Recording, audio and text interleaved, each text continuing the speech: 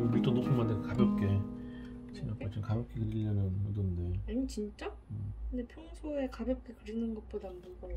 아 이런 큰일 났네 완전 예쁜데? 왜? 컨셉을 바꿔야겠다 그럼 오히려 좋은 거 아니야? 아니, 보는 사람이 편하지가 않아 이게 너무 무거우면은 아그좀 무겁다는 게 아니라 잘 그렸다는 소리였어. 보는 사람이 편해야 되는데 너무 막 사실적으로 표현을 해놓으면 그 정도. 음, 부담스러워 그 정도 그렇게는 애초에 아빠가 그렇게까지는 안 했잖아. 음. 괜찮은데? 그 취지에는 맞아.